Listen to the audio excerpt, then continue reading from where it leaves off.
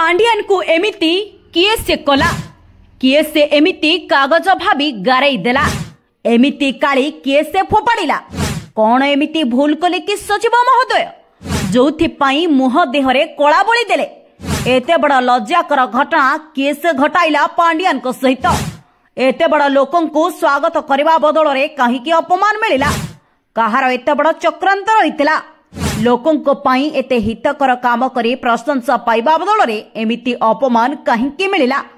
ସତରେ ଓଡ଼ିଶା ପାଇଁ ଏହା ଏକ ବିରାଟ ବଡ଼ ଲଜ୍ଜାର ବିଷୟ। ସତରେ ଏତେ ଅପମାନ ପାଇବା ପରେ ବି ପାଣ୍ଡିଆନ ମହୋଦୟ ଭାଙ୍ଗି ପଡ଼ିନାହାନ୍ତି ବରଂ ତାଙ୍କର ମନୋବଳ ଆହୁରି ବଢ଼ିଯାଇଛି। ସେଥିପାଇଁ ତ କାଳି ମାଡ଼ ପରେ ବି ମୁହଁରୁ ତାଙ୍କର ହସ ଲିଭିନି। ଏ ସମସ୍ତ କାଣ୍ଡ ଘଟିଛି ପୁରୀ ଜିଲ୍ଲା ସତ୍ୟବାଦୀ କଲେଜଠାରେ। ସତରେ ଆପଣଙ୍କ ଧୈର୍ଯ୍ୟ ଅନେକ। ନଚେତ୍ ଆପଣଙ୍କ ସ୍ଥାନରେ ଆଉ କେହି ଥିଲେ ହୁଏତ ସ୍ଥାନ ଛାଡ଼ି ପଳାଇଥାନ୍ତେ। ଲୋକେ ଆପଣଙ୍କୁ ଅପମାନ ଦେଇ ଦେଇ ଥକିଯିବେ। କିନ୍ତୁ ଆପଣ ଥକିବେନି ପାଣ୍ଡିଆନ ମହୋଦୟ ସାର୍।